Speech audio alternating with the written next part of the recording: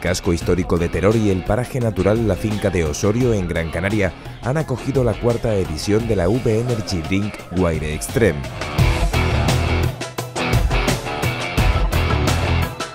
La novedad más importante de esta edición ha sido que los corredores han podido elegir no solo entre dos distancias, sino que también el día en el que participar, sábado o domingo.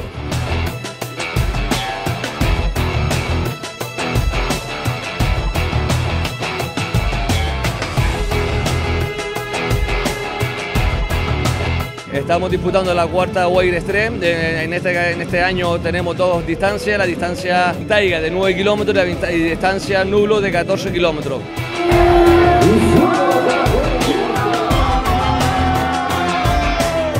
En tandas de 20 corredores y de 5 en 5 minutos iban saliendo los participantes en busca no solo de superar los obstáculos, sino también a sí mismos. Bueno, estamos celebrando la cuarta edición de la Wide Extreme en el municipio de Teror, una carrera de obstáculos, una carrera extrema, donde, bueno, pues como pueden, estamos viendo durante toda la mañana, la gente disfruta, se moja, se llena de barro y compite para, para superarse.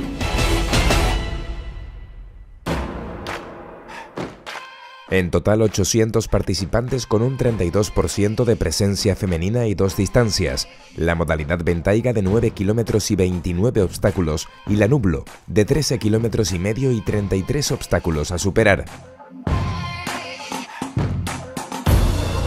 Son obstáculos bastante originales ya que intentamos eh, utilizar el medio natural y poner los elementos artificiales lo menos posible. Y esto es una carrera ya no trail, sino en la que combina el trail de carrera, por así decirlo, con obstáculos.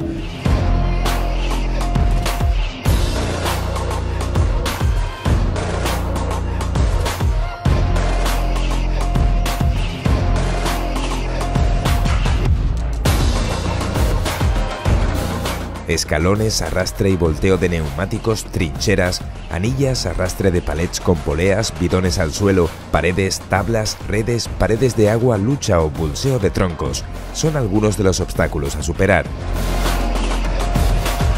La gente súper bien, te ayudan todos, o sea que bien. Mucho barro, mucho frío, mucha lluvia, pero bueno, guay, muy guay. Para mí, a mí personalmente me gusta correr así, con lluvia. Ya una vez mojado no se entera uno. Mucho barro, mucho barro, pero nada, muy divertido, muy divertido.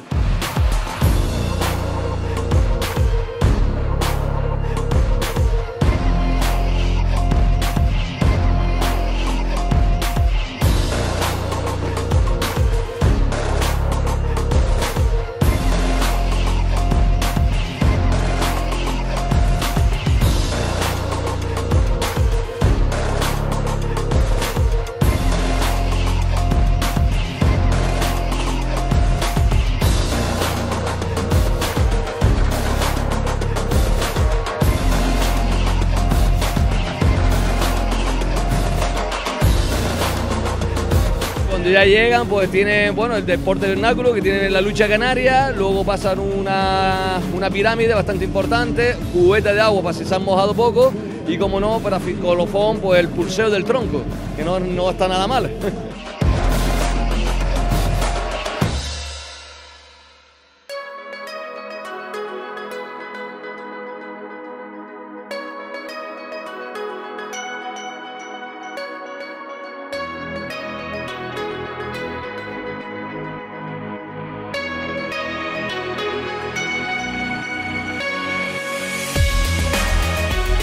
Adai López escribió su nombre en mayúsculas en esta cuarta edición de la V Energy Drink Wide Extreme al vencer en las dos modalidades de la prueba. Gustavo Marrero y Santiago Alemán fueron segundo y tercero respectivamente.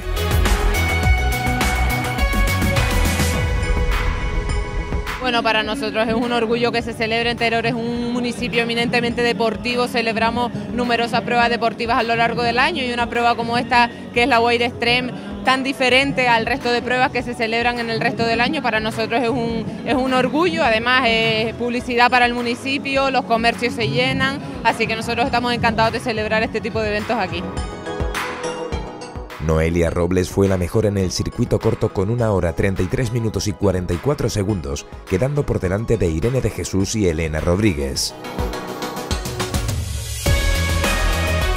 Elsa Padrón fue la vencedora en la distancia larga con una hora 58 minutos y 29 segundos. Noelia Robles, que había obtenido la victoria en la distancia corta, se hizo también con la segunda posición en la modalidad Roque Nublo. Astrid Muñoz fue la tercera clasificada. Imposible correr en un mogollón de sitios, súper divertida, guapísima, eh, la recomiendo. Muy bien, la verdad que muy bien.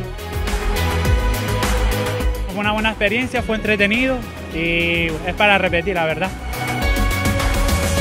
I finished, I've got my medal and I'm feeling good, yes. Woohoo! Con la novedad de ser la primera carrera en la que se puede competir en sábado o domingo, se despide hasta el próximo año la V Energy Drink Wire Extreme celebrada en Terror.